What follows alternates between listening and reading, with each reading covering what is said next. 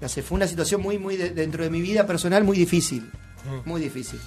Y, y me hizo hacer un clic en un montón de cosas, ¿no? Y, y me encontré, qué sé yo, eh, solo en el medio de la nada, sin un puto peso, y levantándome a las 5 de la mañana para caminar 5 o 6 kilómetros para ir a laburar un taller a hacer mate cocido. Eh, Viste, no, no digo que esté bien ni que esté mal, en el contexto de situación. que tocó. Lo que a mí me tocó y de, de donde yo venía, Porque estás desacostumbrado de eso. porque mi venía de lo otra hice, espada, sí, mi vida lo hice. Yo venía de una situación, de una familia bien, donde mi viejo me mandaba a correr en auto a Buenos Aires y me bancaba él. ¿Crees que la gente lo sabe esto? ¿O cree que fue todo, Todo color de rosa. No, qué mierda. Yo no lo conocía. No, Yo no, lo conocía, ¿eh? no. realmente. ¿eh? Más allá de. Estamos formando otra imagen ahora, digamos. No, Mira, no, y eh, laburé, laburé un año y medio en el taller, eh, manejaba un colectivo y, bueno, y trabajaba en el taller. Eh, hacía el mate cocido y colaboraba dentro de lo que podía, tampoco era mecánico, pero bueno, trabajaba en un taller. Ahí conozco a mi novia, a mi señora.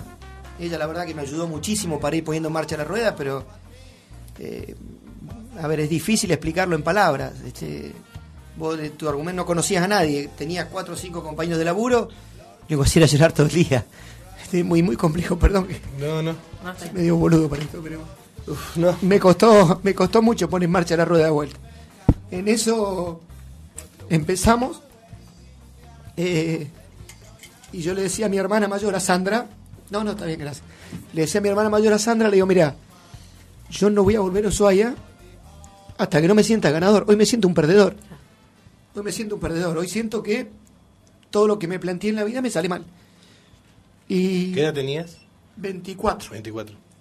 me vengo, digo, voy a volver a Ushuaia cuando sea campeón argentino. Y mi hermana me miraba diciendo, "Este Sí. vive en un departamento alquilado, no puede pagar el alquiler y quiere ser campeón argentino.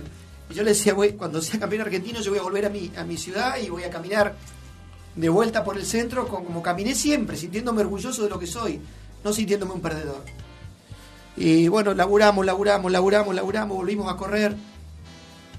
Eh, arranqué a correr de vuelta, mi primera carrera llegué al podio, esa última mitad del año quedé subcampeón, el año siguiente fui campeón argentino y volví acá siendo campeón argentino.